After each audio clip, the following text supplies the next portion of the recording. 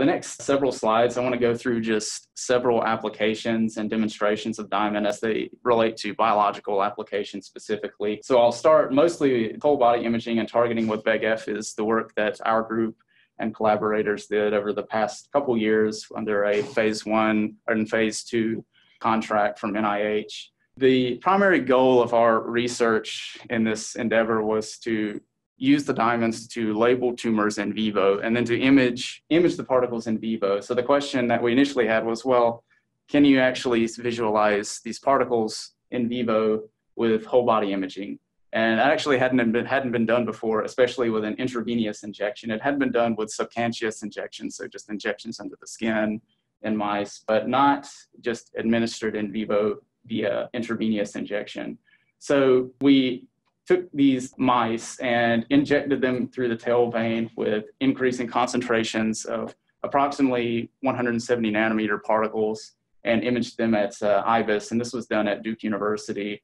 And with the, the IVIS system is an in, in vivo imaging system. Excitation, these are showing just two different excitations, 605 and 640. And we see accumulation in really mostly the spleen and liver, which is kind of expected because those are the filtering organs, right? So you do see this increased signal versus the control control mice with no diamonds. And this is, again, that figure because we ended up uh, doing this tissue digestion with these spleens, actually. And this is where you can see the increasing, increasing administration dose and then increasing obvious uh, concentration of the particles in the digested tissue. So then the conclusion is that, yes, okay, we can see the diamond particles in vivo with whole body imaging. So then the next step is then to see, well, let's, oh, I should add, uh, these mice do not have tumors on them yet. So the next step we wanted to do, since we want to target tumors, is to then introduce tumors into the mice. This application, instead of, but we first don't want to use targeting. So this application is going to rely on this EPR, enhanced permeation or tension effect, which is essentially just,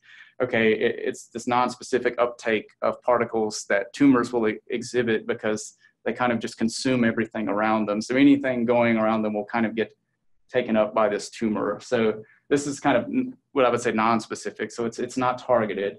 And what we did end up seeing, so the, these are non-targeted diamonds, but into injected into mice with tumors. And we can actually see with ex vivo, even ex vivo analysis, and this was done with uh, IVIS as well. So this is just taking out the organ and looking at it, fluorescence emission intensity. Uh, so we do see in versus a control, which is just a dextrose buffer uh, we do see an increase in the fluorescent emission intensity of the tumor and then the spleen and liver. So there does to be some, there is some merit obviously to this EPR effect and it potentially could be used to label tumors. However, EPR is in and of itself is quite heterogeneous. So it's not an ideal technique to use to label tumors.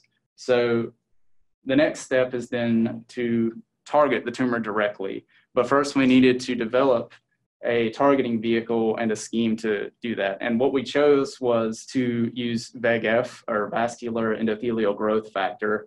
And VEGF is essentially a class of proteins which are which stimulate vasculature growth and they're involved not only with tumors but also in you might imagine uh, wound healing things of that sort and uh, tissue growth. So essentially what happens with a tumor is that these cancerous cells rapidly need they need oxygen. They're oxygen starved need so this causes tissue necrosis around surrounding them. So what they do is they there's a feedback loop which then drives these cells to overexpress VEGF VEGFR receptors on their surface. So there's first they start to output more VEGF protein itself, and then a feedback loop then causes these cells to overexpress these receptors. So and then that stimulates this angiogenic kind of rampant uh, vasculature growth, which feeds the tumor and continues its growth. But the thing is, if we can functionalize our diamonds with VEGF, we can exploit that as a means to target our uh, these overexpressing cells, so these tumor cells. So we did that via a click chemistry route, and I will not go into extensive details of that, but it's essentially uh, relies on transcyclooctene tetrazine chemistry. So it's just bioorthogonal click chemistry to attach the VEGF protein, single chain VEGF protein to the surface of the diamonds. And we did several validations to verify that the VEGF was attached and functional. Just ELISA and SDS-PAGE, which is, these are, this ELISA is really a, a plate-based technique and then the SDS-PAGE. In general, okay, we can see that the VEGF is functionally active on is functional and it's on the on the particles. So our conjugation scheme does work. And in general, it's also not just non-specific uptake of the VEGF, it is covalently bound. So the uh, click chemistry works. And then there is a this tyrosine autophos- autophosphorylation, sorry. And I'm not going into details about how that works, but in general, it then demonstrates that these VEGF functionalized diamonds activate this autophosphorylation pathway at similar concentrations to free single chain VEGF at zero nano, nanomolar concentration. So, okay, great. We can see that the VEGF is on the surface, so our conjugation scheme works. And the next slide, I just wanted to go through this competition assay. So this competition assay involves using a toxic variant of the VEGF protein. So this toxic, so essentially what happens is when this toxic variant binds to the VEGF receptor on the cell, it then will cause the cell to die. If we then mix this toxic variant protein with our diamond, which contain VEGF, they will compete for access to these receptor sites on the uh, cells. In general, if the cells can then survive, we demonstrate that the VEGF on the diamond is active and successfully can compete with the toxic variant of the VEGF. And in general, we do see that. So it, it is comparable to, to a, just a free VEGF uh, variant, single free single chain VEGF. Okay. So I will say that the, uh, the IVIS imaging uh, of these targeted examples was not as good, uh, I would say similar to the uh, EPR based uh, approach. So, and really that just needs optimization. But the ex vivo analysis of the tissue is pretty unmistakable. So this is the control. So this is no FNDs administered. This is FNDs administered, but not containing VEGF. And th- this is FNDs with VEGF, which were administered. So it's, it's very obvious that the diamonds are accumulated in the tissue when they are targeted to VEGF. And then we actually then normalizing this to tumor area, we can see that the uptake is clearly, the fluorescent signal is clearly higher in the VEGF variant of diamond. So in general, okay, right. So this ex vivo analysis is excellent and it, it does validate that the diamonds do work in that sense, and they can be visualized. And in general, this work is recently published in our bioconjugate chemistry down here. Okay, so that was essentially our our work, and uh, I wanted to go through some very famous kind of examples in literature of some other demonstrations of diamonds. So this was a pretty seminal paper of using diamonds to target tumors, and this is actually using detonation nanodiamonds, so not fluorescent. But uh, actually, what, what they did was upload doxorubicin, which is a chemotherapeutic drug which is used to treat cancer.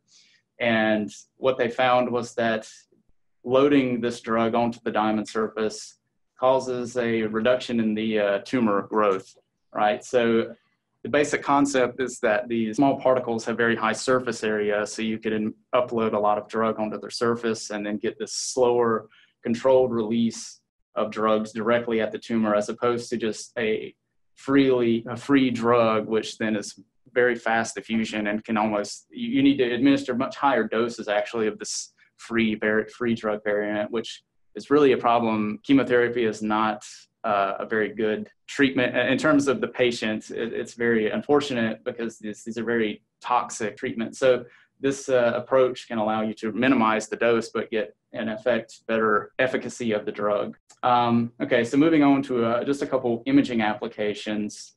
I wanted to, this paper is currently our collaborators and myself actually wrote, and this was utilizing this rapid thermal annealing approach. So we were doing this two color imaging with green and red fluorescent diamonds. The green fluorescent diamonds were produced in rapid thermal annealing approach. And you can see this uh, two color, these are in breast cancer cells. So we took basically two different lines of the same breast cancer cells, put green diamond in one, put red diamond, and then mix the cells to just demonstrate. So these are not targeted in any way. It's just non-specific uptake to the cells. But okay, we can see this two color imaging. And there have been some other demonstrations of two color, but this is one of the first ones where it's actually been done with confocal microscopy and not with some uh, electron beam excitation or cathodoluminescent microscopy or in one case, they're using IR emitting and NV emitting. So this is green and red emission from the NVN and NV centers.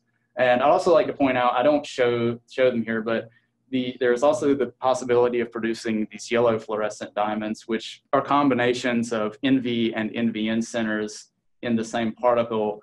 And as a result of this green emission from the NVN center and red emission from the NV center, you get yellow emission. In general, these can have some very interesting potential applications that we're thinking about with this fluorescence modulation. It would be interesting or if there's some energy transfer between these uh, two different um, color centers or how they interact with each other.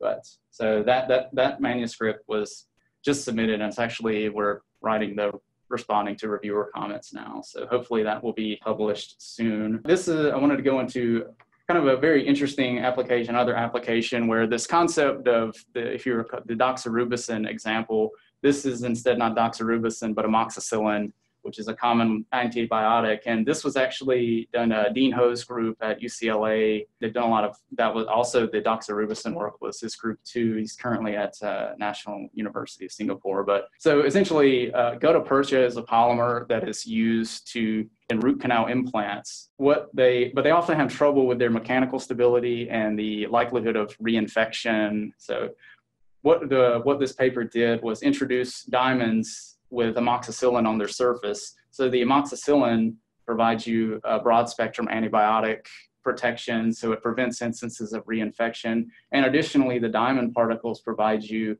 a mechanical stability of the gutta percha. And currently, this is in uh, clinical trials. Uh, I was looking yesterday. Supposedly, the clinical trials are supposed to end in 2020. So, yeah, this is a pretty neat application. It's also showing this approach of having a drug slowly released from the surface of a particle